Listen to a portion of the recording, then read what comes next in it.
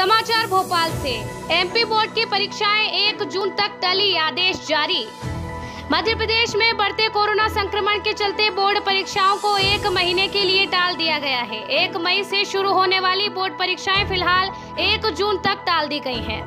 मध्य प्रदेश स्कूली शिक्षा विभाग ने इस संबंध में आदेश जारी कर दिया है। कोरोना के बढ़ते मामलों के बीच मध्य प्रदेश माध्यमिक शिक्षा मंडल ने बोर्ड परीक्षा की तारीखों को आगे बढ़ा दिया है। शिक्षा विभाग के आदेश के अनुसार एक मई से आयोजित होने वाली एमपी बोर्ड की परीक्षाएँ अब एक जून से आयोजित होंगी। माध्यमिक शिक्षा मंडल ने दसवीं व बारहवीं सहित हायर सेकेंडरी, व्यवसायिक diploma in pre school education, शारीरिक प्रशिक्षण परीक्षाओं को स्थगित कर दिया है।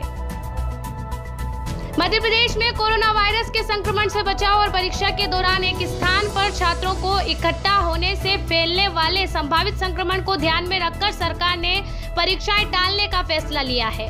शिक्षा विभाग ने बोर्ड की परीक्षाओं को एक महीने के लिए टाल दिया है। फ़िलहाल परीक्षाओं को टाला गया है, लेकिन नया टाइम टेबल जारी नहीं किया गया है। आगे आने वाले परिस्थितियों को देखते हुए टाइम टेबल बनाया जाएगा। तब तक के लिए सभी परीक्षाएँ स्थगित कर दी गई हैं। भोपाल संवाददाता प्रवीण कुमार भार्गव की रिपोर्ट